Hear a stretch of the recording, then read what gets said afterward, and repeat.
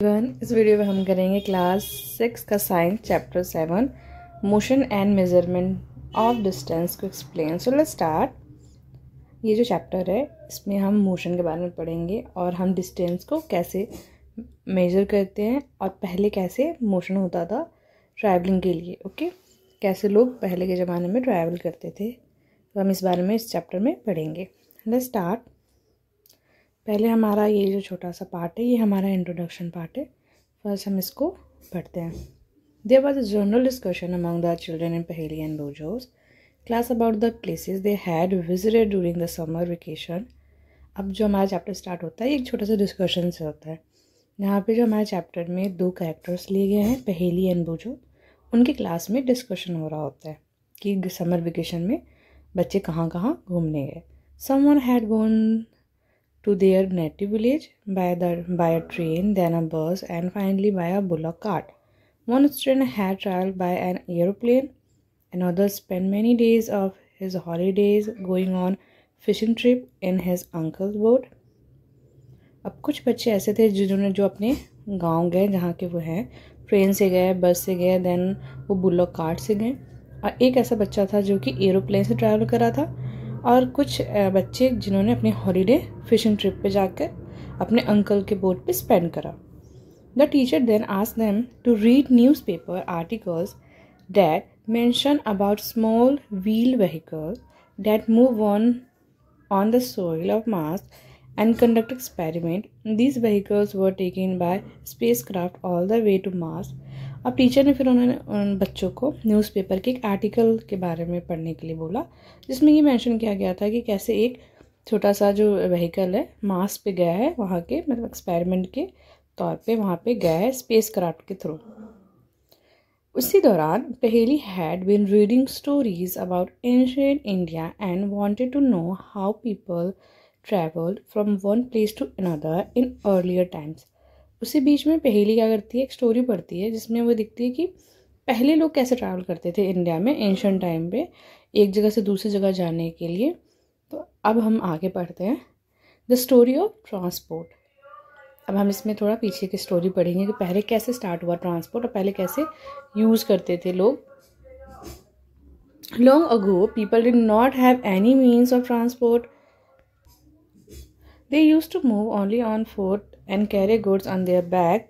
Later on, they began to use animal for transportation. पहले ऐसा कुछ नहीं था ट्रांसपोर्ट का सब अपने पैरों से चलते थे और अपने पीठ पे ही जो भी चीज़ें होती थी वो अपने पीठ पे रख के फिर वो चलते थे बट कुछ समय बाद वो एनिमल्स को यूज़ करने लगे ट्रांसपोर्टेशन के लिए for transport through water route boat were use from ancient time transport के लिए जो वाटर थ्रू वाटर हम कैसे यूज़ करते थे बोट को ठीक है बोट के थ्रू लोग जाते थे इधर से उधर। To begin with boats were simple logs of wood in which a hollow cavity could be made later possible learn to put together different pieces of wood and give shapes to the boat पहले क्या होता था? पहले, सबसे पहले start लोगों ने किया बोट से और पहले उन्होंने सिंपल बोट बनाया। देन उसमें मॉडिफाई करा उसके शेप में। The shapes uh, imitates the shapes of animal livings in water. Recall our discussion of this streamlined shape of fish in chapter 5 and 6. अब बोर्ड को कैसे शेप दिया गया? उसको स्ट्रीमलाइन शेप दिया गया। जैसे कि उन पानी में जो भी लिविंग्स रहते हैं उनको देख देख के बोर्ड का शेप दिया गया। और बोर्ड का जो शेप बनाया गया वो स्ट्रीमलाइन शेप बनाया गया जैसे कि फिशेज का शेप होता है। हमने पढ़ा है इसको। फाइव पिछले हमने चैप्टर में इसको पढ़ा है दोनों चैप्टर्स में। जो फ़िश का शेप होता है, वो स्ट्रीमलाइन शेप होता है। बीच में ब्रॉड होता है, दोनों कॉर्नर उसके कम होते हैं, ठीक है? जिससे कि पानी में उस, उनको तैरने में हेल्प मिलती है। और इसी को ध्यान में रखते हुए बोट का भी शेप इसी तरह बनाया गया था। Invention of the wheel made a great change of mode of transport the design of the wheel was improve over thousands of year animal were use to pull carts and sorry that move on wheels उसके बाद wheels का invention हुआ जो कि बहुत change लाया transport के modes में और स्पीड भी हो गया ट्रांसपोर्ट पहले टाइम लगता था लोगों को इधर से उधर जाने में, उसके बाद क्या हो गया? इम्प्रूवमेंट आ गई। जैसे व्हील व्हील का इन्वेंशन हुआ, उसके बाद एनिमल का यूज़ करने लगे थे लोग। एनिमल को एनिमल आगे रहता था, और पीछे व्हील्स का जो भी बना होता था कार्ड उसको एनिमल खींचता था और ऐसे स्पीड बढ़ गई थी हमारी ट्रांसपोर्टेशन की और इससे हम बहुत बहुत चीज़ें भी एक जगह से दूसरी जगह ले जाने लगे थे until the beginning of the nine nineteen century people still depended on the animals okay boats and ships to transport them from place to place. The invention of streamlined engine, sorry, steam engine led to the development of new means of transport. अब जब तक nineteen century का nineteen century की beginning तक people depend थे animals पे, ठीक है? और पानी के थ्रू वो जाते थे बोट्स पे। तो दो मेजर हमारा ट्रांसपोर्टेशन था उस वक्त के लिए। उसके बाद क्या हुआ? कुछ समय बाद स्टीम इंजन का इन्वेंशन हुआ और इसके बाद बहुत ज़्यादा ही डेवलपमेंट हो गई, क्योंकि लोग अब बहुत दूर दूर जाने लगे और बहुत बहुत चीज़ें लेके जाने लगे और ट्रैवलिंग बहुत ईजी हो गया था, ठीक है? और आसान हो गया था और सेफ़ भी हो गया था।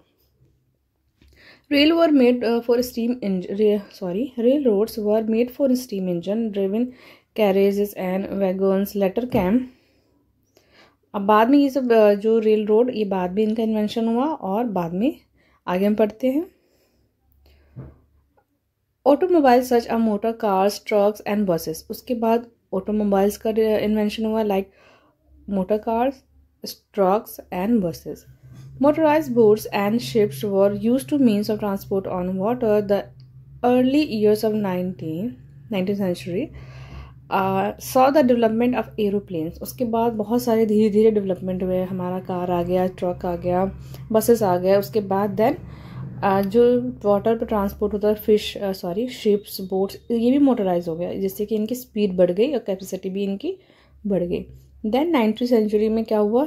एरोप्लेन का डेवलपमेंट हुआ। नाइन्टीज़ में हमारा एरोप्लेन एरोप्लेन का डेवलपमेंट हुआ। The world later improve to carry passenger and goods उसके बाद पैसेंजर्स और गुड्स को कैरी करने में भी बहुत इम्प्रूवमेंट हुई, जिससे कि उनकी जो कैपेसिटी वो बढ़ा सके। Electric trains monorails supersonic aeroplanes and spacecraft were some of the contribution of twenty century और फिर ट्वेंटी सेंचुरी में और भी ज़्यादा डेवलपमेंट हुई। ठीक है? सुपरसोनिक एरोप्लेन्स की इलेक्ट्रिक ट्रेन की मोनोरेल्स की स्पेस क्राफ्ट की। फिगर आप सेवन पॉइंट वन में देख सकते हैं। यहाँ पे है हमारा सेवन पॉइंट वन ये पहले ज़माने का ऐसा कार्ड था, उसके बाद ये बाईसाइकिल फिर बसेस ट्रेन ये सब ऐसे ऐसे बनने लगे। यहाँ पे फिगर में जैसे हमारा दिखा गया है, कुछ डिफरेंट टाइप के ट्रांसपोर्ट के मोड्स जो कि अभी हमने देख लिए अब आप, are there any sorry are there any of early modes of transport that are not in use today अब अब उसमें से कुछ ऐसा बता जो अब यूज़ नहीं होता है। तो अब इसमें से हम देखते हैं कौन सा अभी यूज़ नहीं होता जो पहले होता था। अब जो आप ये देख रहे हो बुल कार्ड देख रहे हो ये अभी गाँव में अभी भी ये यूज़ होता है। सो so, अभी बेसिकली सब यूज़ होता है। और टोटली इसमें से कुछ भी नहीं है। हम हॉर्स राइडिंग कह सकते हैं कि वो अब यूज़ नहीं होता वो बहुत पहले यूज़ होता था। पर ये जो आप देख रहे हो ना बुल कार्ड ये अभी भी आपने कुछ होम टाउन्स में देखा होगा इस पर लोग चीज़ें लेकर जाते हैं। और ये अभी बहुत कम यूज़ होता है बट अभी भी स्टिल यूज़ होता है ये। To how ride is this desk how did people know how far they have travelled how will you know whether you can walk all the way to your school or whether you will need to take a bus or rickshaw, rickshaw to reach your school when you need to purchase something it is possible for you to walk to मा to the market how will you know the answer of this question अब यहाँ पर हमें कैसे पता चलता है कि हमने कितना दूर तक ट्रैवल कर लिया? हमें कैसे पता चलता है कि हमें कितना चलना ज़रूरी है अपने स्कूल पहुँचने के लिए और बस लेने के लिए या फिर रिक्शा लेने के लिए, जिससे कि हम स्कूल पहुँच सकें? हमें कैसे पता चलता है? It is often important to know how far is place is so that we can have an idea how how we are going to reach that place walk take a bus or train or ship an aeroplane or even are spacecraft ये बहुत important है कि हमें पता हो कि कितना दूर हमें ट्रैवल करना है, जिससे कि हम ये आइडिया लगा सकें कि उस जगह पे पहुँचने के लिए हमें कौन से व्हीकल की ज़रूरत है। हम पैदल चले जाएँगे, अगर पास है तो हम उससे पैदल चले जाएँगे वहाँ पे। अगर वो बहुत दूर है तो हमें एक बस की ज़रूरत पड़ेगी। क्योंकि हम उतना दूर ट्रैवल पैदल नहीं कर जा, जा पाएँगे या फिर हमें उससे भी ज़्यादा दूर है तो हमें ट्रेन की ज़रूरत पड़ेगी। ठीक है? और अगर अगर बीच में सी आता है या सी के उस पार है ठीक है? दूसरी कंट्री में है तो हमें शिप की ज़रूरत पड़ सकती है या फिर एरोप्लेन की ज़रूरत ज़रूरत पड़ सकती है। अगर प्लानट के पार है तो हमें स्पेस क्राफ्ट की भी ज़रूरत पड़ सकती है। तो इससे हम हमें अगर हमें पता है कि जो हमारा डिस्टेंस वो कितना है तो हम उसके अकॉर्डिंग ही अपना जो वहीकल है वो लेंगे। ठीक है? तो हम ये अपने ट्रैवल का डिस्टेंस के अकॉर्डिंग हम इसका चूज़ करेंगे कि हाँ कौन अगर पास है तो हम छोटे व्हीकल का इस्तेमाल करेंगे और दूर है तो हम दूसरे व्हीकल का इस्तेमाल करेंगे अपने डेस्टिनेशन पे पहुँचने के लिए। Some time later they are objects whose length or width we need to know In Paheli and Buju's classroom, there are large desks which are to be shared by two students. Paheli and Buju share one desk, but frequently end up objecting that other is using a larger share of the of the desk. अब क्या होता है? हमें बहुत सारी ऐसी चीज़ें जिसका लेंथ और जिसकी लंबाई या चौड़ाई लेंथ और विर्थ हमें जाना बहुत ही ज़रूरी होता है। अब यहाँ पे एक एग्जांपल दिया गया है पहली इन बूझों का, जो कि दो कैरेक्टर्स है हमारे बुक के थ्रू आपको दिखाई देंगे। तो अब इन दोनों का, इन दोनों का क्या इशू है कि ये दोनों एक ही डेस्क शेयर करते हैं। अब इनमें ये कंप्लेन है कि एक एक बच्चा ज़्यादा बड़ा, ज़्यादा पार्ट यूज़ करता है, दूसरा वाला कम यूज़ करता है, ठीक है? और ऐसा आप सबके साथ भी होता होगा। कुछ लोग ज़्यादा डेस्क यूज़ कर लेते हैं, कुछ लोग कम यूज़ करते हैं, कुछ लोग ज़्यादा अपना फैला के बैठते हैं। One on the teacher suggestion they decide to measure the length of the desk mark make a mark exactly in the middle of it and draw a line to separate two halves of the desk अब teacher ने उन्होंने, जब बच्चे गए teacher के पास complain करने तो teacher ने उनको कहा कि ऐसा करो, तुम लोग डेस्क का मेजर कर लो और हाफ़ बांट लो। इससे फाइट नहीं हो। Both Paheli and Boojho are very fond of playing gilli danda with their friends Boojho brought a set of gilli and danda with him here here is how they try to measure the length of the desk using the danda and the gilli आप figure आप seven point two में देख सकते हैं। हम इस figure में देखते हैं कि अब ये दोनों बच्चे क्या करते हैं? गिल्ली डंडा लेकर आते हैं इसको मेज़र करने के लिए। अब वो इस तरह गिल्ली डंडा से वो मेजर करते हैं डेस्क की लंबाई को। The desk seems to be having a length equal to the two two danda length and two length of gilli. अब डेस्क की जो लेंथ है, दो गिल्ली और दो डंडे की बराबर होती है। Drawing a line in the middle of the desk leave each of them happy with the half of the desk अब वो ये देखते हैं कि अच्छा अब दोनों इक्वल साइज़ में बट गया, अब दोनों खुश हो खुश हो जाते हैं कि हाँ हम दोनों का इक्वल इक्वल मिल गया है length equal the danda and a gilli in length ठीक है? दोनों को क्या मिला है? एक गिल्ली और एक डंडा. और जैसे क्या पिक्चर में देख पा रहे हैं। After few days the mark line get wiped out Boojho Boojho now has a new set of gilli and danda and as he lost his old one here is how the length of the desk seems to a measure using a gilli and danda अब कुछ समय बाद क्या होता है, जो line है वो मिट जाती है और उसका गिल्ली भी क्या होता है, उसका सॉरी, उसका डंडा भी खो जाता है। अब क्या होगा? अब वो दूसरा लेकर आता है, ठीक है? दूसरा मेजर करने के लिए लाता है, पर अब क्या होता है, क्योंकि डंडा बड़ा होता है तो अब यहाँ पे दूसरा लेंथ देख सकते हो सेवन पॉइंट थ्री में देख सकते हो। Measuring the length of desk with a different set of gilli and danda. अब जब वो दूसरा सेट लेकर आता है तो वो देखता है, अरे, ये पहले वाला तो दो दो डंडा था दो गिली था। पर दूसरा वाला दो डंडा और एक ही गिल्ली हो रहा है। ऐसा क्यों? क्योंकि जो डंडे का जो लेंथ होती है वो बड़ा होता है, क्योंकि वो दूसरा है, पहले वाला दूसरा होता है। Now when measures with the new set of gilli and danda the desk length seems to be about two danda length one gilli length with a small length still left out this is less than one gilli danda sorry one gilli length now what अब क्या होता है, जब आपने पहले देखा कि पहले जो डेस्क की, जो उसकी लंबाई थी, एक गिल्ली, एक डंडा, हाफ़ मतलब दो गिल्ली और दो डंडा था, ठीक है? पर अब क्या था, दो डंडा, अब जो लेंथ है, दो डंडा और वन गिल्ली का हो गया है और थोड़ी सी जगह है, वो बच जाती है। अब क्या? What would you suggest Paheli and Boojho do to measure the length of the whole desk अब आप क्या बोलोगे? कैसे पहली एंड बूजो का बताओगे? किस तरह उनको लेंथ मेजर करनी चाहिए डेस्क की? can can you use a cricket wicket and uh, bales uh, to measure the land or do you think that this might create a similar problems? आप या फिर कुछ और देंगे उनको लेंथ करने के लिए मे बी विकेट वगैरह। क्या आपको लगता है ये भी सेम प्रॉब्लम क्रिएट करेगा? हाँ बिल्कुल क्योंकि जो सबकी जो अपनी अपनी लेंथ वो डिफरेंट होती है। One thing they or do is to take a small length of string and mark two point on it This will be a string length. They can measure the wide of the desk in string length अब या तो आप string ले सकते हो, उससे क्या कर सकते हो, आप ऐसे मेजर कर सकते हो। अब यहाँ पे देखो पिक्चर सेवन पॉइंट फोर में उन्होंने क्या करा है? एक स्ट्रिंग की लेंथ से मेजर करने की कोशिश कर रहा है वो लेंथ को। ठीक है?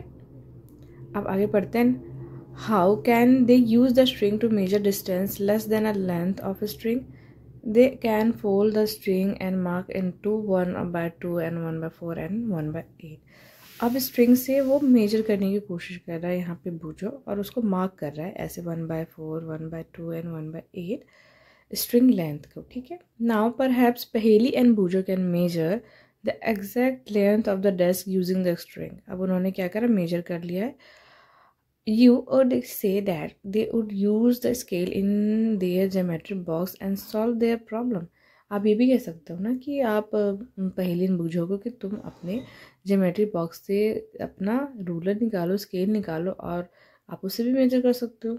Yes of course Boojho has been reading about the way people use to measure distance और बूझो क्या कर रहा था? पढ़ रहा था कि कैसे पहले के लोग मेजर करते थे डिस्टेंस को। Before such standard scale were made and he has been trying to follow different method of measuring distance पहले स्केल बनने से पहले लोग भी इसी तरह मेज़र करते थे और उनको भी ऐसे डिफ़िकल्टीज आती थी क्योंकि जिससे भी मेजर करते थे, वो अलग अलग जगह पे वेरी करता था, वो सब जगह सेम नहीं होता था। तो इस तरह उनको भी बहुत सारी प्रॉब्लम्स आती थी डिस्टेंस को मेजर करने में और वो एक्यूरेट भी नहीं होता था। They are so many occasions when we come across a need of measure length and distance the tailor need to measure the length of the cloth to know if it is the enough to stitch a kurta a carpenter needs to measure a measure the length and width of a cupboard to know how much would he would need to make us make a make store अब इसी तरह बहुत सारे questions आते हैं जिसमें हमें length या फिर उसकी डिस्टेंस या विथ हमें मेज़र करने की ज़रूरत पड़ती है सपोज़ टेलर को मेज़र करने की ज़रूरत पड़ती है, क्यों? क्योंकि वो कुर्ते का, किस साइज़ का कुर्ता सिले और उसकी लेंथ क्या होनी चाहिए? आप जब भी जाते हो टेलर के पास तो वो मेजर करता है ना आपकी लेंथ को, आपकी कमर के पास कितना है, आपकी बाजू कितनी होनी चाहिए, आपकी पूरी हाइट कितनी होनी चाहिए। ये सब वो मेजर करता है ताकि वो परफेक्टली कोई भी कपड़ा वो सिल सके आपके लिए, ठीक है? अगर वो ऐसे सिलेगा अपनी मर्ज़ी से, या फिर वो एक ही मेजर रखे और सबका सेम सिले तो सबको तो डिफरेंट डिफरेंट आएगा ना, ठीक है? इसी तरह एक कारपेंटर भी है, वो भी मेजर करता है हाइट को विथ को एक कबर्ड बनाने के लिए कि जिससे उसको पता चल सके कि कितनी लकड़ी की ज़रूरत है, ठीक है? या फिर डोर बनाने के लिए उसको कितनी लकड़ी की ज़रूरत है तो हम बिना मेजर करके हम नहीं पता कर सकते। The farmer need to know the length and breadth of the area of his land to know how much seed he can sow and how much water would be needed for his crop इसी तरह farmer को भी length की ज़रूरत होती है length and breath की ज़रूरत होती है अपने लैंड की, जिससे कि वो उसको पता चल सके कितनी सीड की ज़रूरत है और कितनी पानी की ज़रूरत है उस फ़ील्ड में। Suppose you are ask how tall you are you want to tell the length of a straight line of the top of your head to the heel of your feet आप खुद की भी जब length major करते हो, कोई आपसे पूछता है आपकी कितनी लेंथ है तो आप जब मेजर करते हो तो आपकी हाइट मेज़र की जाती है ऊपर, सर के ऊपर से लेके आपके फीट तक, ठीक है? हील ऑफ़ द फीट तक। और हमें रूम कितना बड़ा है, हमारा डेस्क कितना चौड़ा है, दिल्ली से लखनऊ कितनी दूर है, ये सब चीज़ें मून से अर्थ कितनी दूर है, ये सब चीज़ें हम मेज़र करते हैं, ठीक है? All this question have one thing in common they all concern distance okay जितनी भी चीज़ें अभी सब में, जो भी क्वेश्चन मैंने पूछा, इनमें एक चीज़ कॉमन है कि वो सब डिस्टेंस के बारे में पूछ रहे हैं कि दो प्लेसेस के बीच में कितना डिस्टेंस है।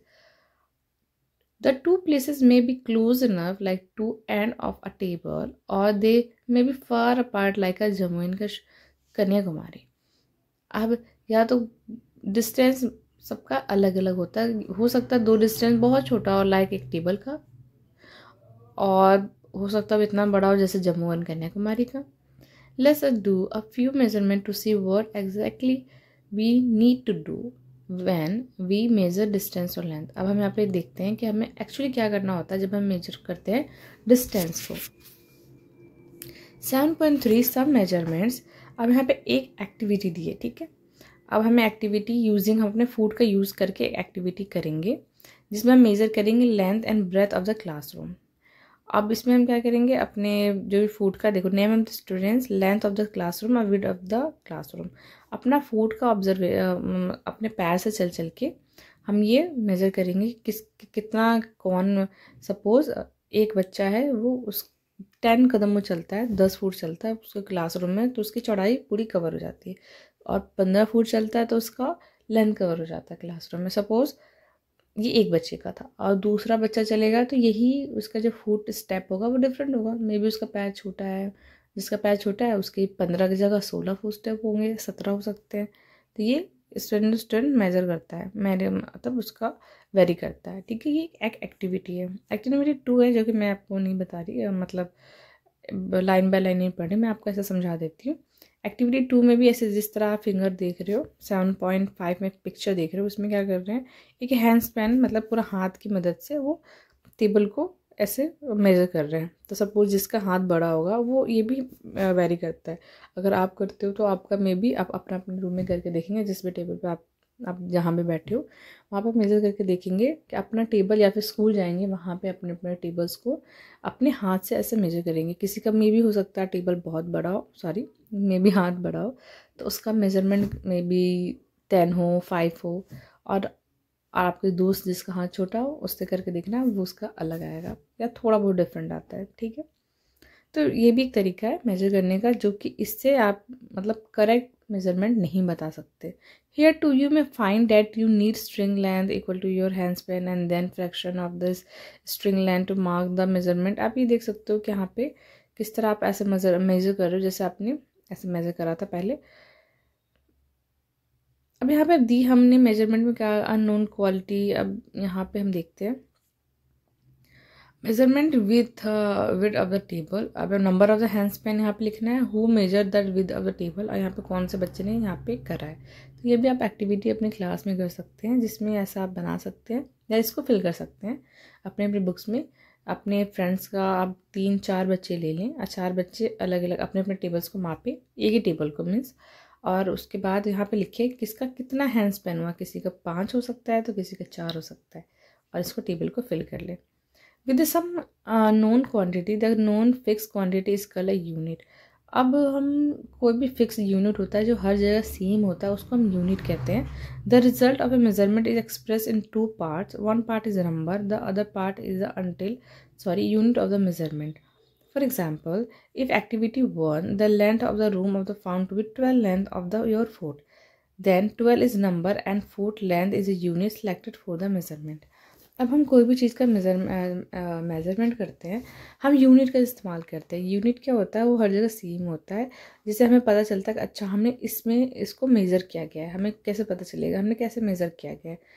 तो हमें इस, अगर हमने एग्ज़ाम अभी हमने एक्टिविटी फ़र्स्ट में देखा कि हमने मेज़र किया है फ़ूड स्टेप से। अगर हम लिखते हैं, ठीक है हमने क्लासरूम का मेज़र किया है ट्वेल्व तो ट्वेल्व क्या?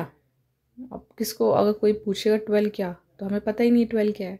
इसलिए हम यूनिट का इस्तेमाल करते हैं, हम ट्वेल्व फुट स्टेप। अगर फुट स्टेप का यूज़ करके हमने मेज़र किया है तो ट्वेल्व फुट स्टेप। अगर हम कुछ और यूज़ करके करते सॉरी हैंड स्टेप करके करते तो ट्वेल्व हैंड स्पैन ओके तो ये यूनिट इस तरह हमें हेल्प करता है, जिससे हमें पता चलता है कि मेज़रमेंट किसमें हुआ है। Now study all the measurements recorded in table seven point one जितने भी मेज़रमेंट हुए हैं टेबल पॉइंट सेवन वन में रिकॉर्डेड है। ये रहा, आप ऐसे इसमें आप इसको फिल करेंगे, ठीक है? अब इसमें क्या हुआ है? सेवन पॉइंट टू में भी। All are the measurement for the room using everybody's for equal are everybody's measurement by hand span of width and table equal perhaps the result could be different जैसे मैंने आपने बताया, मैंने आपको बताया कि सबके जो हैंड स्पैन है, वो डिफरेंट होते हैं। तो आपको क्या लगता है, सबका, सब जो भी मेज़रमेंट करेंगे वो सिमिलर होगा? नहीं, वो वेरी करेगा। अलग अलग होगा। तो और ना ही हमारे हैं पैर सबके सेम होते हैं, ना ही हमारे फुट स्टेप सेम होते हैं, ठीक है? तो ये स्लाइटली डिफरेंट होगा ऑल स्टूडेंट्स का। Therefore when you tell your measurement using your hand span और length of foot as unit to other they will not be able to understand how big the actual length है unless they know the length of your hand span और foot अगर आप किसी को बोलोगे कि हाँ मैंने तो इसका मेज़रमेंट कर लिया, मैंने इस टेबल को मेज़र कर लिया, ये मेरे हैंड स्पैन का टेन हैंड स्पैन है, ठीक है? तो फिर भी उसको नहीं पता चलेगा, क्योंकि उसको आपके हैंड हैंड स्पैन का मेज़रमेंट ही नहीं पता। तो उसको सबसे पहले आपका हैंड स्पैन का मेज़रमेंट भी चाहिए होगा देन वो मेज़र कर पाएगा इसकी लेंथ तो ये थोड़ा सा क्रिटिकल और थोड़ा सा डिफ़िकल्ट हो जाता है। We see therefore the some standard unit of measurement are needed इसलिए हमें स्टैंडर्ड यूनिट चाहिए होता है, जो सबके लिए सिमिलर हो। किसी एक के लिए अलग ना हो। That do not change from person to person जो चेंज ना हो पर्सन टू पर्सन या प्लेस टू प्लेस उसको हम स्टैंडर्ड कहते हैं। ऐसे पहले पहले ज़माने में ऐसे बहुत सारे प्रॉब्लम्स आती थी कि वो मेज़र सही से नहीं कर पाते थे। कोई स्ट्रिंग का यूज़ करता था, कोई डंडे का यूज़ करता था, कोई ऐसा हैंड स्पैन का यूज़ करता था। और ये वेरी ये वेरी करता था पर्सन टू पर्सन किसी ने बोला, मैंने इतना स्पैन मैंने, मेरी तो ये इतनी लेंथ आ रही है। फिर कोई दूसरा करता है तो उसकी अलग लेंथ आ रही होती थी। और इससे ना बहुत ही प्रॉब्लम क्रिएट हो रही थी। कन्फ्यूज़न होता था। इसलिए लोगों ने इसका सोल्यूशन निकाला और स्टैंडर्ड यूनिट्स बनाया, जो कि सिमिलर हो और किसी की कोई परेशानी ना हो। Seven point four standard unit of measurement in ancient time the length of a foot a width of a finger and distance of step were commonly use as a different unit of measurement जैसे मैंने अपने आपको बताया the people of the Indus valley civilization must have use very good measurements of length because we see evidence in in excavation of perfectly geometrical construction पहले भी ऐसे use होता था, कोई अपना लेंथ यूज़ करता था, कोई फिंगर यूज़ करता था ठीक है? पर वहाँ पे कोई उस वक्त यूनिट नहीं था। उसके बाद इंडस वैली है, आप इसको हिस्ट्री में पढ़ेंगे। इंडस वैली सिविलाइजेशन में मेज़रमेंट इस्तेमाल होने लगा यूनिट इस्तेमाल होने लगी। वहाँ पे इसका इन्वेंशन हुआ और वहाँ पे आपने इसके जो एविडेंस है, वहाँ पे परफेक्टली जियोमेट्रिक कंस्ट्रक्शन है, आप उससे समझ सकते हैं। इसके बारे में आप ये आपको थोड़ा सा अभी नहीं समझ में आया होगा, ये वाला जो पैरा। जब आप हिस्ट्री की बुक पढ़ोगे, इसमें इंडस वैली सिविलाइजेशन के बारे में तो आपको अच्छी तरह से इसको समझ में आ जाएगा। A cubit as a length from the elbow to the finger tip was use in ancient Egypt and also accepted as a unit of length in other part of the world अब पहले क्या करते थे लोग? अपने length जो elbow की length होती है ना एल्बो की लेंथ से आपका जो हाथ का लेंथ होता है, कहने से लेकर आपकी उंगली तक पहले इसका भी इस्तेमाल किया जाता था। बट ये भी सबका हाथ अलग अलग है। आपका हाथ का लेंथ अलग हो सकता है, किसी का हाथ का लेंथ अलग हो सकता है। People also use foot foot का भी इस्तेमाल करते थे पहले यूनिट के लिए, ठीक है? जैसे मैंने आपको बताया, और ये ये different to different region to region ये वेरी करता था। People measure a yard of cloth by the distance between end of the outstretch arm and their chin और क्लॉथ का भी कैसे वो करते थे, अपने आर्म से लेकर अपने चिन तक वो इस्तेमाल करते थे। आपने इसको मम्मियों को भी करते हुए देखा होगा, जब साड़ी वाड़ी को मेजर करते हैं ना, वो भी कभी कभी ये से यूज़ करते हैं, अपना आर्म से लेकर अपने चिन तक कि हाँ ये एक मीटर हो गया, ऐसे।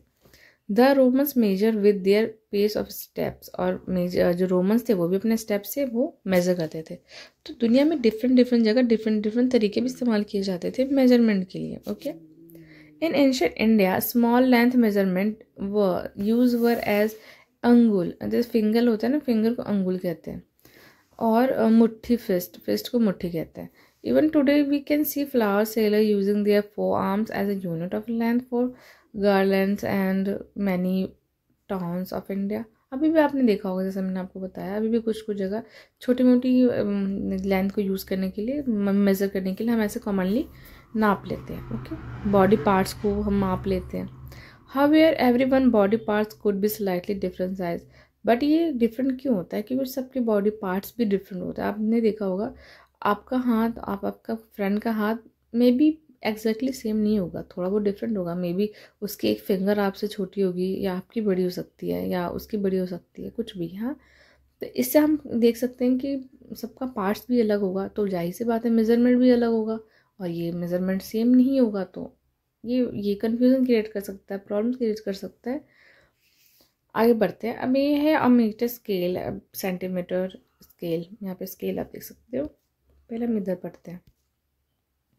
Have cause confusion and measurement in seventeen nineteen seventeen nine seventeen ninety तक बहुत कन्फ्यूज़न होता था। मेज़रमेंट में the French created a standard unit of measurement call the metric system उसके बाद फ्रेंच ने क्या करा था एक स्टैंडर्ड यूनिट क्रिएट करा था बनाया था जिसको मैट्रिक सिस्टम कहते थे for the sake of uniformity scientist all over the world have accepted a set of standard unit of measurement.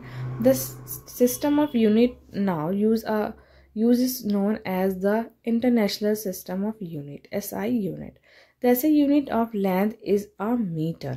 A meter scale is known sorry shown in figure 7.6 also shown in 15 centimeter scale in your geometry box. अब क्या हुआ? Scientist ने ये find out करा कि, कि कितनी measurement करने में कितनी ही इशू क्रिएट होता है लोग कैसे कैसे तरीके इस्तेमाल करते हैं चीज़ों को मेज़र करने के लिए। इसलिए उन्होंने इसका एक सॉल्यूशन निकाला कि सबको परेशानी ना हो। उन्होंने एक यूनिट निकाला मेज़र करने के लिए और एक स्टैंडर्ड यूनिट निकाला। उसको हम कहते हैं इंटरनेशनल सिस्टम ऑफ़ यूनिट या फिर एसआई यूनिट ओके और लेंथ को मेज़र करने के लिए लेंथ को हम मीटर में मेज़र करते हैं। हर जगह लेंथ को मीटर में मेज़र करते हैं या फिर आप सेंटीमीटर में कर सकते हैं। अब हर सब चीज़ को मेज़र करने के लिए डिफरेंट डिफरेंट हम यूनिट भी इस्तेमाल करते हैं। उसको आगे पढ़ेंगे। तो लेंथ का जो मेज़रमेंट करते हैं हम, उसका यूनिट ऐसा यूनिट है मीटर अब आपने 50 सेंटीमीटर का आपने अपने स्केल भी देखा होगा आपके जियोमेट्री बॉक्स में पार्ट फ़र्स्ट को फिनिश करती हूँ। इसका पार्ट सेकंड भी आएगा, जिसमें आगे की चैप्टर को मैंने एक्सप्लेन किया गया उसका लिंक आपको डिस्क्रिप्शन में मिल जाएगा। या फिर आप उसको आई बट आप उसको मेरे चैनल के प्लेलिस्ट में जाके देख सकते हैं। ठीक है? इसके क्वेश्चन आंसर इसके की कीवर्ड्स सबके लिंक आपको डिस्क्रिप्शन मिल जाएगा। या फिर आप मेरे चैनल के प्लेलिस्ट में जाके आप उसको वहाँ से देख सकते हैं। If you like it please like share and subscribe my channel seven part second bye bye